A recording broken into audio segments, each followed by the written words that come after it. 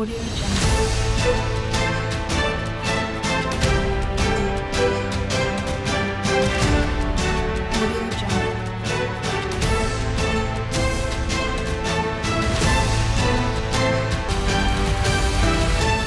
Audio Jungle. नमस्कार, आप देख रहे हैं टुडे 24 न्यूज़। मैं हूँ आपके साथ सपना मतीशिया। अनिमेश भूइया को जोरहाट में बेरहमी से हत्या कर दी गई थी। बेहतर असमिया युवा मंच डिब्रूगढ़ जिला समिति के तरफ़ से उनकी दिवंगत आत्मा को श्रद्धांजलि देते हैं। ये दुर्भाग्यपूर्ण है कि ऐसी घटना पहले भी होती आई है। बेहतर असमिया युवा मंच की तरफ़ ऐसी डिब्रूगढ़ जिला अध्यक्ष मनाश बरुआ ने असम सरकार ऐसी अनुरोध करते हुए कहा की ऐसी घटनाओं पर जल्द ऐसी जल्द लगाम लगाई जाए और अनिमेश भूइया के दोषियों को कड़ी ऐसी कड़ी सजा दे, ताकि भविष्य में ऐसी घटना घटित न हो। আজি আমি বৃহত্তৰ যুৱ মঞ্চৰ আহ, ডিব্ৰুগড় জিলা সমিতিৰ তৰফৰ পৰা যি ঘটনা আজি অসমত ঘটি আছে যোৰহাটত যি লজ্জাজনক ঘটনা ঘটিছে যে দিন দুপৰতে এজন মানুহক নিৰ্মভাৱে প্ৰহাৰ কৰি হত্যা কৰা হৈছে ছাত্ৰ নেতাৰ এজন বিষয়ববীয়াক।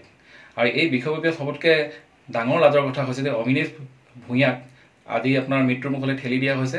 কোনে মৃত্যুমুখলৈ ঠেলিছে? তাতে আমাৰ অসমীয়া এদল মানে অত্যন্ত যুৱকে।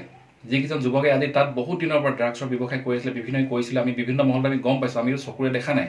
যদি তেনেকুৱা কিবা পৰিৱেশ তাত আছে তেতিয়াহ'লে আমি আৰক্ষীক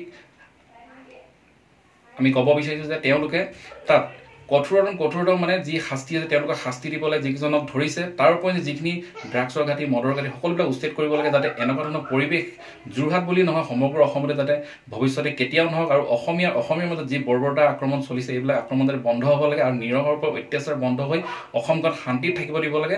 আৰু আমি বৰ্তমান অৱস্থাত অলপ দেৰি আগতে আমি এটা বাতৰি পাইছিলোঁ বাতৰিত আমি মানে গম পাইছিলোঁ যি দুজন ব্যক্তি এতিয়া বৰ্তমানে চিকিৎসাধীন হৈ আছে তাত গৈ পিনে তিনিজনমান ব্যক্তিয়ে হেনো গৈ পিনে কিবা আপোনাৰ ভাবুকি প্ৰদান কৰা। কিবা এটা মানে ভাষ্য এটা মানে পোহৰলৈ আহিছে। আমি অসম চৰকাৰৰ লগতে তথা আমি সকলোকে আমি এটাই আহ্বান জনাওঁ যি কাৰ্য হৈ গ'ল যি ঘটনা ঘটি গ'ল সেই ঘটনা যাতে পুনৰাবৃত্তি নহয় আৰু এই মানুহকেইজনক সুৰক্ষা দি আৰু যিকেইজন ব্যক্তিৰ মন মগজু এতিয়াও ঠিক হোৱা নাই সেইকেইজন ব্যক্তিক ভালকৈ ধৰি যিকেইজন ব্যক্তি এতিয়াও মানে এই এই ঘটনাৰ লগত জড়িত কিন্তু পলাই আছে তেওঁলোকক ধৰিব লাগে আৰু- দৃষ্টান্তমূলক শাস্তি প্ৰদান কৰিব লাগে।